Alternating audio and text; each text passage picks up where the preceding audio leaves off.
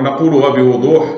البرلمان الأوروبي هو منصة فرنسية للهجوم على المغرب يستعمل لمصالح فرنسية وليس لمصالح أوروبية. هذا ما يجب الانتباه إليه. الكثير من الدول الكثير من الممثلين داخل البرلمان الأوروبي لا يشاركون هذه المسألة ولكن يبدو بأن هناك هيمنة فرنسية وتوجيهه لماذا؟ لأن هناك أزمة مع المغرب.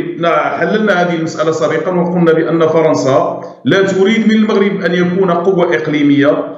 تنافس فرنسا اليوم هي تنافس تنافس فرنسا المغرب ينافس فرنسا داخل آه، غرب إفريقيا ينافسها في منطقة المتوسط. هذا الصعود هو يقلق فرنسا لهذا هي تعمل إلى استعمال هذه المنصة وتدافع عن دولة التي هي الجزائر التي هي ملحقة فرنسية. هذا واضح هذه المسألة. حتى هذه المسألة التي يقال بأنها عشية آه، زيارة آه، عشية زيارة تبون. الزيارة يبدو بأنها أرجئت.